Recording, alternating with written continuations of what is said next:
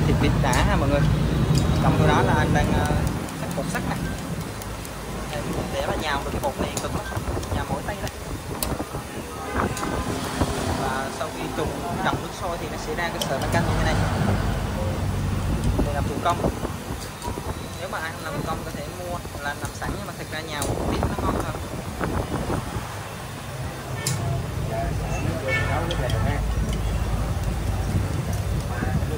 Thưa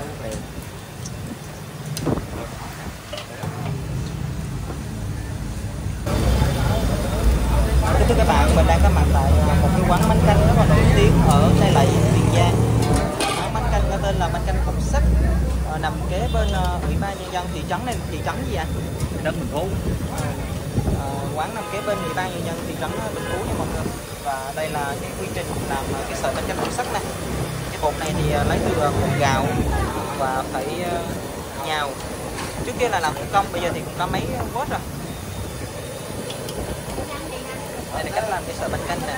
Và thực ra ở chợ thì người ta cũng đã có bán cái sợi làm sẵn nhưng mà thực ra nó có bị khô lắm còn nếu mà mình tự ờ, nhào nặng như thế này thì sợi nó mềm hơn. Cái này là anh lăn một ngày bao nhiêu ký bột hết anh? Ba chục ký lận. Ba chục ký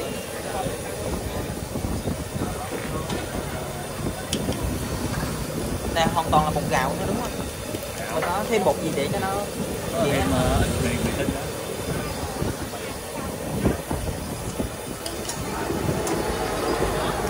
hồi trước mà chưa có máy là anh tự ờ, tự làm tay hết. Đây có xay gạo xay bột em từng nhồi cái nhồi ờ, một hồi nó mỏi tay lắm, tại vì nó cứng á. Tôi cũng ờ, nhồi chứ mà làm từ từ rồi nó nhiều lên, cái nhồi không nổi.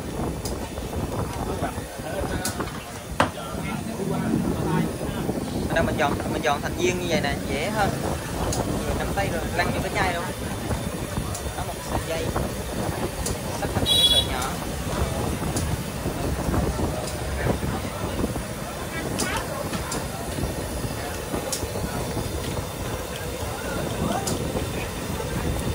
Đây keo.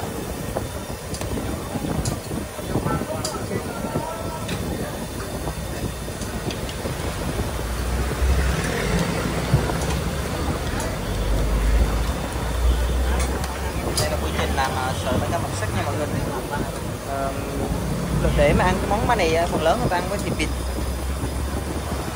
Đây là phù hợp nhất còn có thể là tôm tép. Mà ngon vẫn là bánh canh mọc sắt với thịt vịt mong được cho tắt ga có cái sắt tắt bếp ga nó giùm cái. Ở phía trước quán rất là đông đấy đây là một cái quán nổi tiếng ở cây lậy cho nên là lượng khách đó kín hết. Đây bột bột anh nhào. Nhào thì uh, giòn nguyên Ờ, trần khoảng 10 phút là mình nhớt ra ha nhỏ lên là làm mình nhớ nó sắp rồi nó chìm xuống như đỉnh nổi lên chín là nổi lên ngồi bếp nóng thì có chưa không lắm trước có hai bếp mà giờ làm thêm thêm bếp nữa hai hai hai nồi làm thêm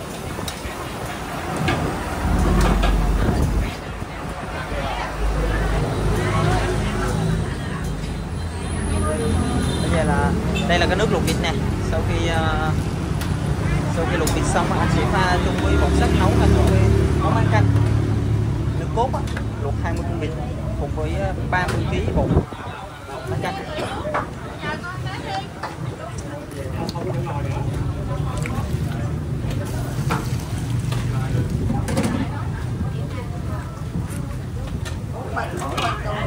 Anh lại tiếp tục làm một cái nồi thứ hai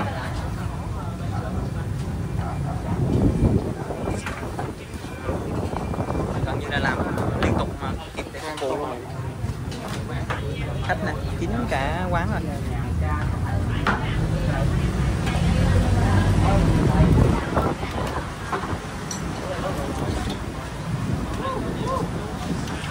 Vậy là vừa xong cái nồi này là cái nồi mà nó nổi lên là vừa ha Nào, nó đã chín rồi, nó nổi lên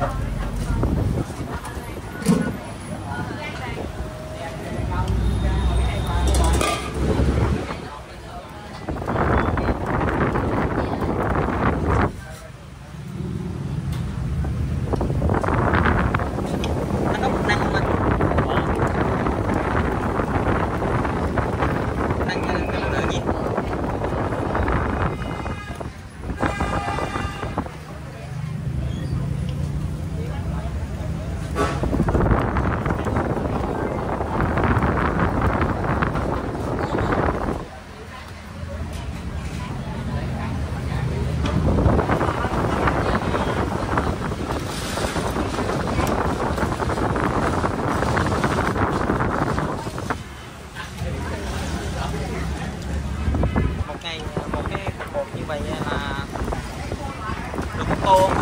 được một tô bánh canh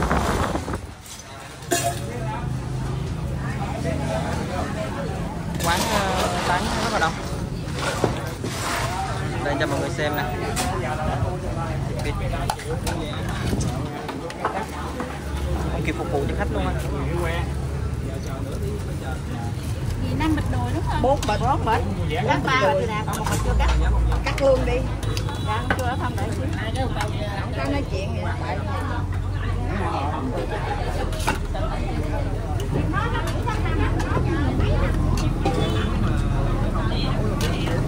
là món bánh canh bột sắc rất là hấp dẫn. Đặc sản ở cái lầy luôn á.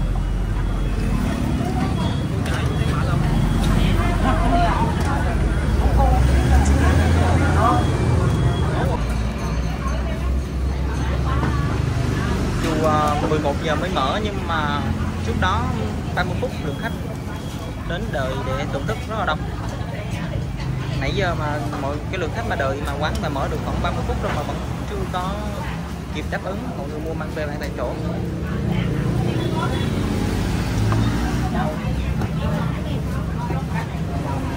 Quán chỉ bán đúng khoảng 2 giờ đồng hồ là hết à 11 giờ cho đến khoảng hơn 1 giờ là hết cái nồi thịt vịt. Bắt đầu anh uh, chuyển sang nồi thứ ba. Đó. Có ba nồi luôn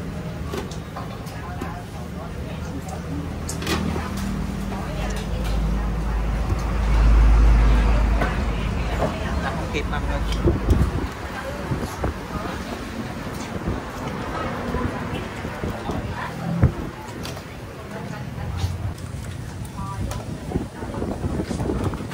giòn nguyên. Cứ ba viên như vậy là sẽ là một tô bánh canh nãy giờ thì ờ, làm ờ, một nồi như vậy, ít chừng là khoảng ba bốn tô à. Phải làm tốc hành trước thì người ăn rất là đông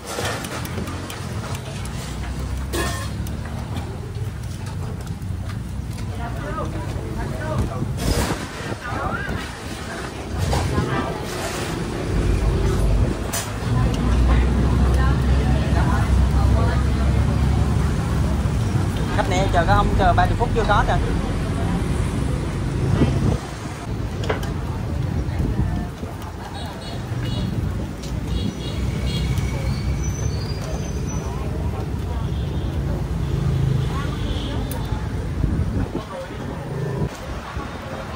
xong rồi nha mọi người. Đường canh sắc bớt ra.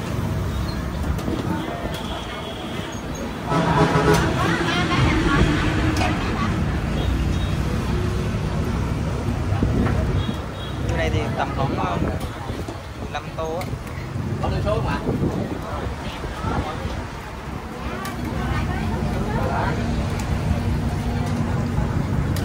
làm thủ công cho nên là sẽ có cái sợi to sợi nhỏ.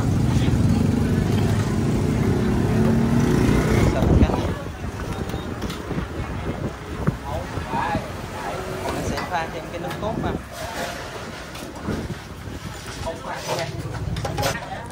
còn đây là bánh canh nha. Sau khi uh, làm ra sợi bánh canh thì sẽ được bỏ vào trong cái nồi nước. Quá tao đông luôn nè đang đợi nè luộc vịt. Bán cho khách và mọi người đang hối kìa. Rất là đông. Không kịp luôn. Đây là một cái quán ờ, đặc sản nổi tiếng. Khách đang hối.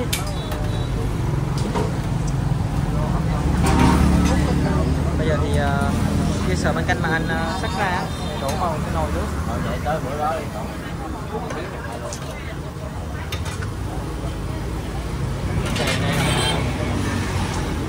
con này